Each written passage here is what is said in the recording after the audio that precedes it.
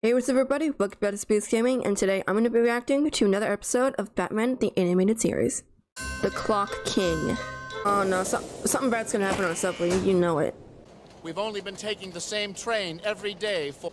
You seem pretty tightly wound this morning, Fugate. There's been a $20 million judgment against my company. If that judge sees you looking as tense and haggard as you are now, he'll think you were up to something. Get out of your routine for a few minutes. Then take it at 3.15. But my schedule...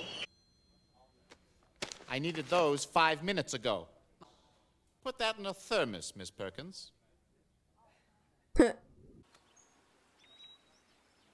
he looks so uncomfortable.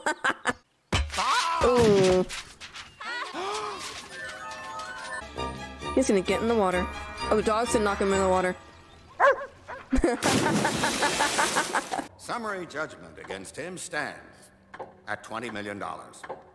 Then perhaps this will teach you to be on time for a change. Seven years later. Holy crud. Oh no.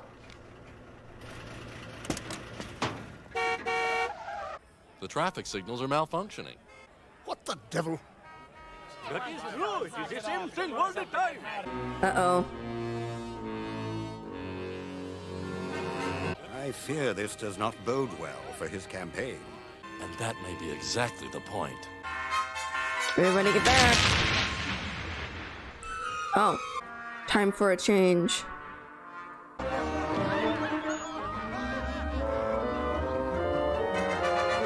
He changed. Oh, he's going up. The Batman. It's about time you showed up. Talk! A pity. The 9.15 is always six minutes early. wow. What kind of saboteur uses a $6,000 Metronex to trigger a time bomb? Temple Fugate, 362, Brayfogle. Let's go, Alfred. Alfred's actually like being able to like go along this time. This is kind of cool. It appears Mr. Fugate's neighborhood has seen better days. Guy's like obsessed. There's been a slight blackout, just one city block. No doubt some malefactors blacked out the bank to disable the locks on the vault.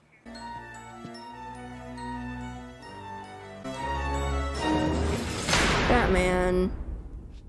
This box contains a high-speed vacuum pump. Of course, if you want to get blown to bits, that's fine with me. Either way, it's time to say adieu, Batman. Oh, I declare Gotham Central Station officially open. What is he doing? Yeah, who can't even get a single subway train to arrive on time?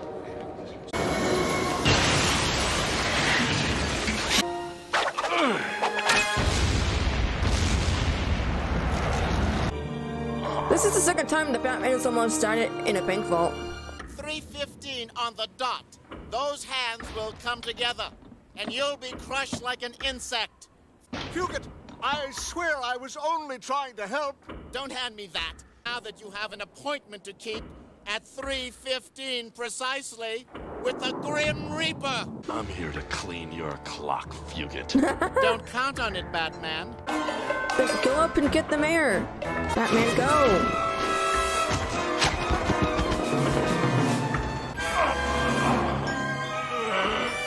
News footage of you, and I know that it takes you exactly a 20th of a second to throw a punch.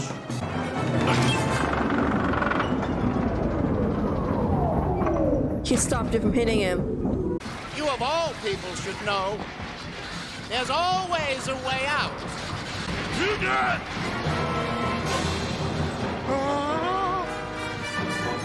Go get the.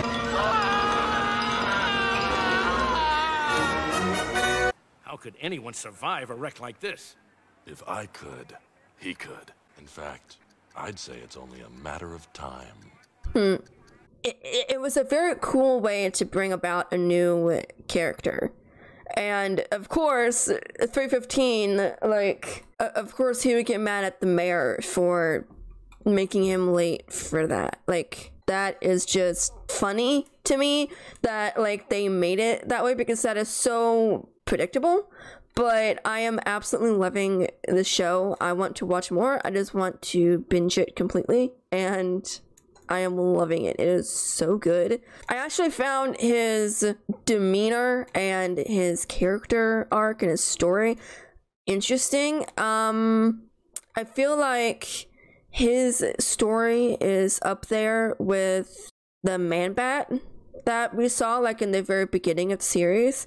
I feel like his is up there because it had the elements of human error in it. You know, Man Bat was messing around with chemicals because he's a scientist and he ended up making himself into a mutant.